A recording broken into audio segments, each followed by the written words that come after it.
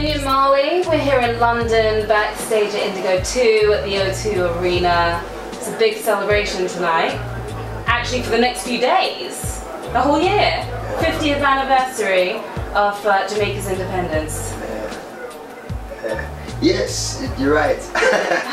you're absolutely right, and it's a privilege to be here.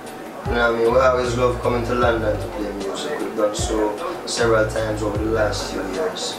Alright, well, well, talk to me about what this occasion means to you, the 50th anniversary. I mean, what does that signify to you? Every year and every time there's the anniversary of Jamaican independence, it's important. And you can't reach 50 without 49 eh? and then what happens next year when it's 51 you know so all I'm hoping personally is with all of the exposure and highlight that Jamaica 50 independence has been getting it will raise more awareness for the younger generation as to what being an independent Jamaican really means you know? What what does it really mean? Well I'm still trying to figure it out myself. Yeah. Because I, I was born quite a few years after we achieved independence and I've, I've been reading a few books recently that speak about that time, uh, period of time.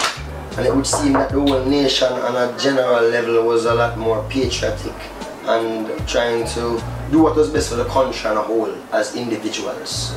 So your father, of course, a worldwide icon, the biggest legend from Jamaica.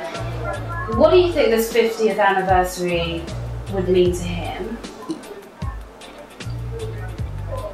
In all honesty, I think he would say something similar to what I would say. You know what I mean? I mean, when you talk about this 50th anniversary, you're talking about independence, you're talking about um, as colonialism comes to independence, it, it's, it's a lot. You know what I'm saying? When you come out to the history of everything that we're speaking about. So, I don't think my father would be somebody who would be too.